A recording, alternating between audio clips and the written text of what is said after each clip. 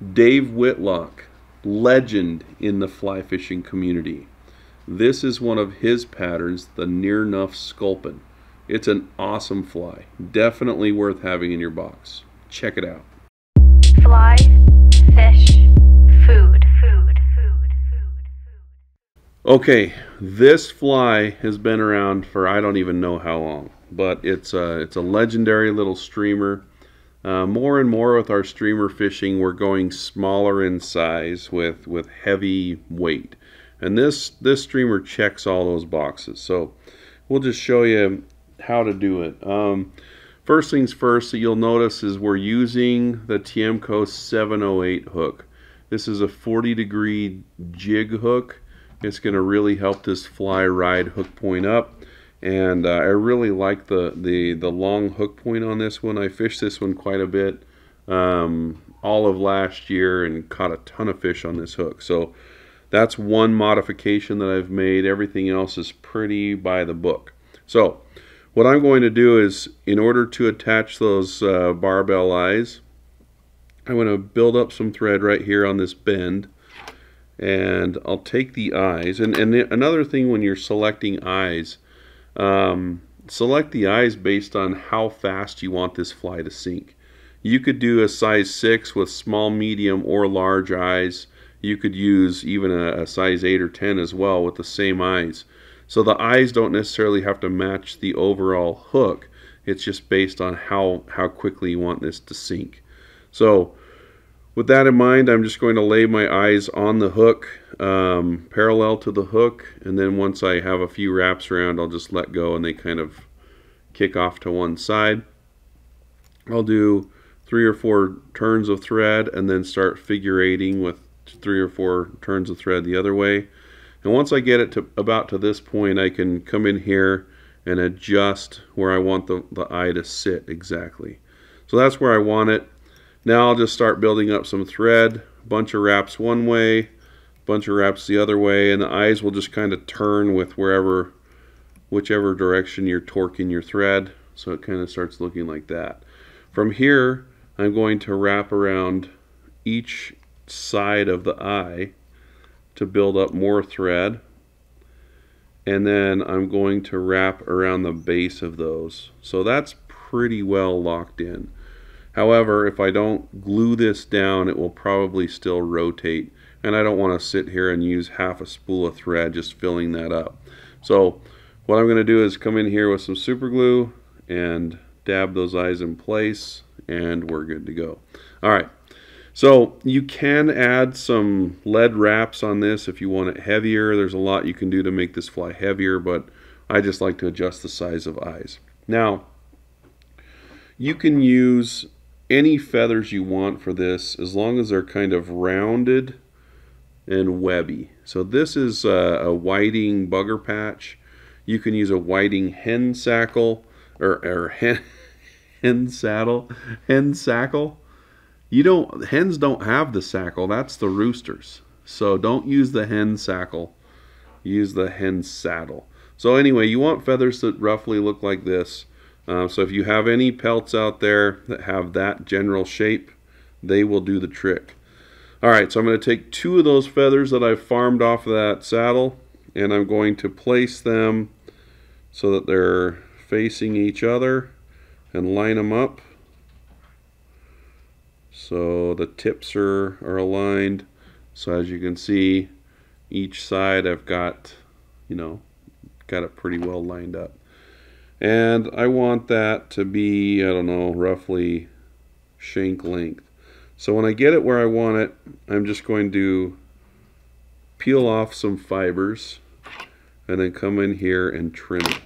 Now you can see how those hackle stems want to cross over? Um, and if you tie them in that way um, your your feathers will want to cross.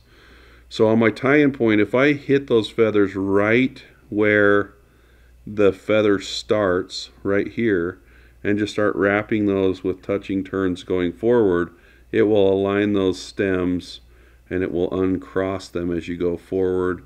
And when you when you lay them out, your feathers are going to look just like that. So that's that's pretty dialed um, as far as how I want those feathers to sit on the fly. Um, from here, I'm not going to use a reverse palmer on this because these hen hackle stems are pretty gnarly. Uh, they're they're pretty durable. I'm not worried about them breaking as much as I would say a rooster. So I'm just going to take the tip of that of the third feather that I farmed off of my sackle and tie that in as well. Doesn't have to be pretty because you're going to cover that all up. Now this the rest of the fly kind of follows a bugger uh, type or uh, tying instruction, but instead of chenille, we're going to use um, some dubbing, and this is Dave Whitlock's blend, the SLF, and this color is called Near Enough Sculpin Olive. So we're going to build the body out of that. You could use uh, semi seal for this. You could use uh, a wide array of different buggy dubbings for this. So it's a pretty thick dubbing rope and I'll just start wrapping that forward, building up a little bit of bulk along the way. A little bit more.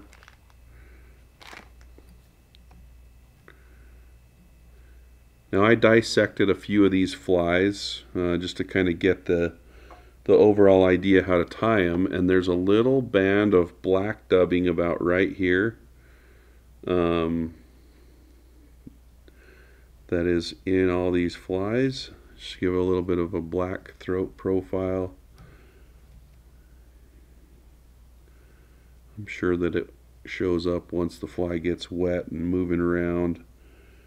And then uh, once you have that you go back to your Sculpin Olive and wrap up right up next to those eyes.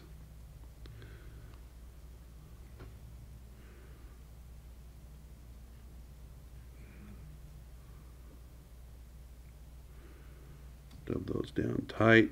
All right. So that's the body. Um, we're going to add some flash. So this fly has some flash that runs along the body and it extends out um, along the side of the tails as well. So what I'm going to do is just take some crystal flash. This is olive crystal flash. And I'll tie it in about the halfway point right behind behind the eye so half the crystal flash is going forward half of it's going back then I'm going to wrap that around the eye and tie it in on the other side so essentially you've got two clumps of flash coming on either side of the fly now this is the part of the fly that gave me the most trouble. Um, so we'll see if I can not screw it up. What I'm going to do is I'll start by taking this body hackle and start with like a half a turn and I'm going to pull that the the flash down on either side and get it to sit exactly where I want it so that as I go forward with this hackle kind of pulls it along and secures it down. So pretty heavily hackled here. You want to end up with a little bit of the the webby schlappen at the end of the fly and then trim that off. Grab your flash now and trim it roughly the same length as the tails. Oh, my tails got all screwy. That's fine. Just fixed them. Okay, from here, um, this is just kind of my own flair. This is how I would finish this fly as far as building a, a head. Uh, you can just dub some dub onto your thread and figure eight it between the eyes, but I like to do a dubbing loop. So I'm going to build a loop and close it off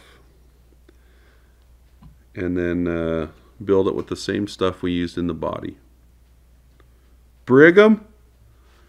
Did you steal my dubbing loop twister? Goodness gracious. Where was it? Where was it? You made me put it with all my other stuff. Mm. All right, so I'm going to grab just a little dubbing twister like this, and I'm going to build up a dubbing loop as you can see, I've cut the corner off of the bag so that when I grab these fibers out of the corner of the bag, they all kind of line up the way I want to tie them into this head. And these heads always use a little bit more dubbing than you think they're going to need. So about like that.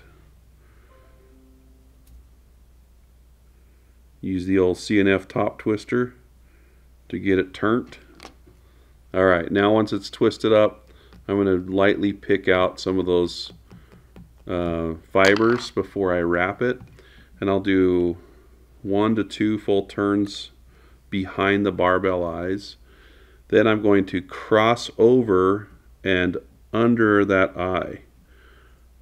And I'm going to do the same thing on the other side, go around the eye, and then I'm going to finish in front. Oh, my thread decided to go behind the eye. I'm going to go in front of the eye with a couple turns, and then I should just be able to tie that off. you got to be careful. Your your thread will slide right off the, the front of the eye and unravel everything. That's why I keep this finger here to hold my thread out of the way as I trim it off. All right, now that I have tension back on my thread, I'll just hurry and whip finish and then take a little bit of Velcro and pick out that head. So brush the head down into the hackle into the body and you've got a super sweet little sculpin pattern that has caught I don't know how many thousands of fish over the years.